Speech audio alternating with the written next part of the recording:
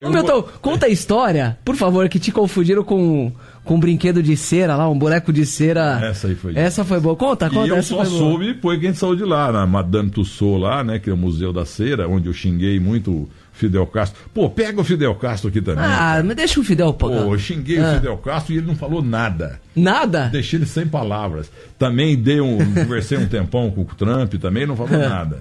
Mas então é o seguinte, na verdade aquilo lá é só para turista mesmo, né? Então tem gente ali, são ícones da história do mundo, né? Obama, Nixon, eh, Fidel Castro, tem todo mundo lá, Serena Williams, Serena, Serena Williams, entendeu? Então é, é só. Mas tem lá um monte de moça que eu que não tenho cultura geral, eu não sei quem que são aquelas mulheres lá, tem muito ator lá também, outro cara que faz sucesso, não sei o quê, um ciclista da vida, eu não conheço, eu mais conheço futebol. E eu, eu sou mais ou menos igual a maioria do pessoal que vai lá. Você conhece 60% das pessoas lá, o João Paulo II e tal, que é a cara, por exemplo, por exemplo do nosso do, profissional, ele é a cara do João Paulo, do João Paulo II. Ele tem um sósia, que é o Jaime Basso, presidente do Cicred. É, cara, é a mesma coisa. Parece. Só falta o bonezinho. Nossa.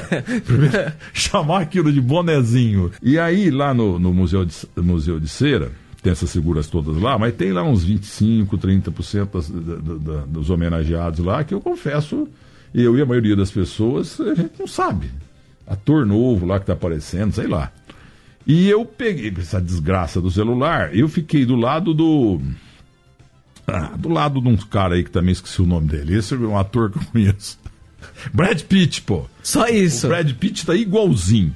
Mas eu peguei e fiquei ali do lado e começou a fazer esse barulho aqui, que tá recado toda hora, recado toda hora. Entendeu? E o Silvio Michel lembra que é Solidel que o Papa usa. Solidel, pra mim, é o bonezinho dos judeus, meus amigos. Bom, aí. E eu fiquei ali parado, assim, mas olhando no celular. Entendeu? E eu com que negócio. Você viu, aquela. aquele- O boné do Chaves. Parece o boné do Chaves. eu fiquei duro Mas é ali, bonito. parado, né? Parado ali, fiquei ali olhando o celular durante uns 11, 14 segundos. E depois eu vi que tinha que ver e saí.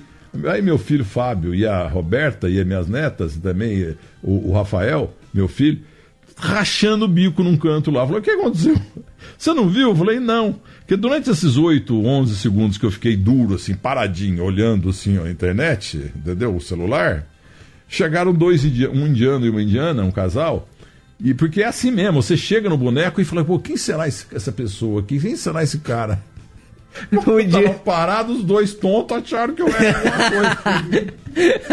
Aí eu falei pro Fábio e pra, pra Roberta, por que, que vocês não filmaram ou fotografaram? Aí não deu tempo, porque foi o quê? Nossa, isso ia ser espetacular, segundos. hein? Porque se você fica Essa lá, foi- qualquer um, você chega lá fica duro assim, ó.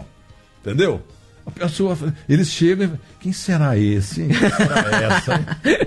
Porque 80% todo mundo sabe, mas tem umas figuras meteóricas que fazem sucesso lá, eles botam, depois tira. Esse ano muita gente sumiu de lá, viu?